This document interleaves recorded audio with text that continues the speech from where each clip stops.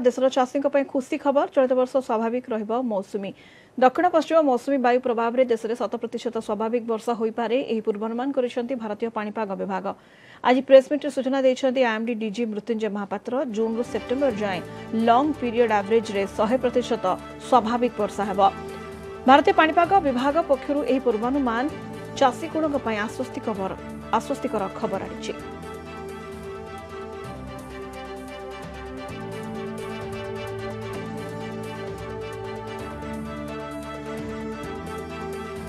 दक्षिण पश्चिम मानसून की ऋतुनिष्ठ जून से सितंबर, वर्षा लगभग सामान्य रहने का संभावना है। मात्रात्मक रूप से देखें तो इस साल जून से सितंबर के बीच में जो मानसून सीजनल रेनफॉल होने का हम उम्मीद कर रहे हैं, वो 100 परसेंट है।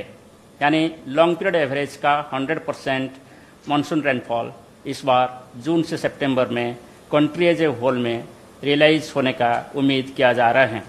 और कंट्री एज ए होल के लिए लॉन्ग पीरियड एवरेज के हिसाब से भारत का सीजनल रेनफॉल 88 सेंटीमीटर है। प्रशांत महासागर में जो एलिनो या सदर्न ऑसिलेशन का स्थिति उत्पन्न होता है, इसको भारत मौसम विज्ञान विभाग लगातार मॉनिटरिंग करते हैं, क्योंकि ये जो एनसो या एलिनो या लानिना कंडीशंस भारत का मौसम वर्षा के साथ बहुत प्रभावित होता है। इसलिए इसका भी हम जो ऑब्ज़र्व किए हैं, इसके हिसाब से अभी न्यूट्रल एनसो कंडीशन जारी है। और सिमिलरली इंडियन ओशन में जो सामुद्रिक स्थिति होता है। इसको हम इंडियन ओशन डाइपोल में डिफाइन करते हैं। और इंडियन ओशन डाइपोल भी अभी न्यूट्रल स्टेट में है। हमारा ये उम्मीद है कि इंडियन ओशन डाइपोल और ये जो एंसो कंडीशन न्यूट्रल है अभी, ये मानसून सीज़न के टाइम भी न्यूट्रल रहेंगे। फिर भी कुछ जो न्यूमेरिकल मॉडल्स है, वो सभी दर्शाते हैं कि later part of monsoon season पे लालिना कंडीशन का पॉसिबिलिटी हो सकता है। हम भारत मौसम विज्ञान विभाग में जो लॉन्ग रेंज फोरकास्ट जारी करते हैं, इसमें दो प्रमुख मॉडल का यूटिलाइजेशन होता है।